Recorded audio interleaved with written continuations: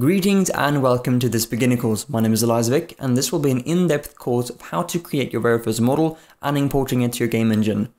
Before we dive into this course, I would like to mention a couple of things. First of all, it's going to be super fun and you will learn a whole bunch of things when it comes to game development, especially the artistic side of it. Second of all, if you don't really have any desire to work in the game industry but overall like to play games, it's going to be a great source of information of how actually everything is built up and how it all comes together. Thirdly, I'll be very, very detailed about everything that I do. I will explain words that I personally think can be a bit hard to understand. One of the worst things is actually to learn something that you really can't understand.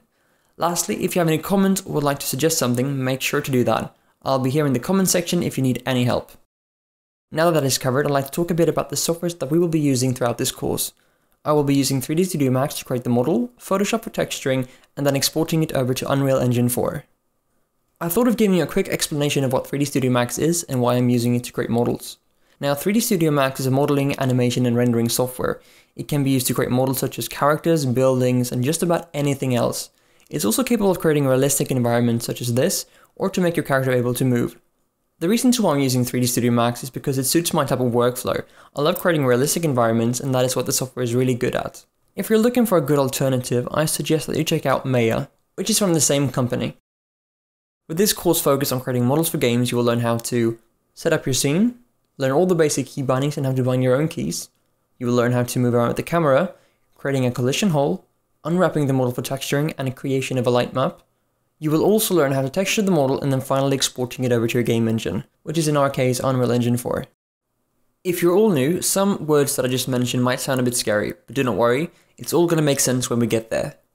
The model that we're going to be creating is going to be a simple box. The reason to why we're starting off with something simple as a box is because I don't want to confuse you with all the functions that the software has to offer. We'll go into more detail about that later on. The series will be covered up into different parts. Each part can be viewed without watching the other ones. All episodes are connected but can be viewed independently since each episode will cover a specific part in the creation process. Listed here are all the episodes that will be released for the modeling series.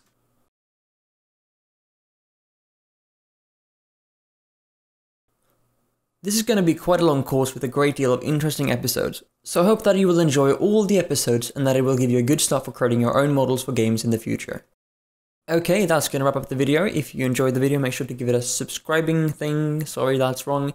Like the video and subscribe to my YouTube channel if you enjoyed it. Thank you so much for watching and thank you for your time and I will see you in the next episode.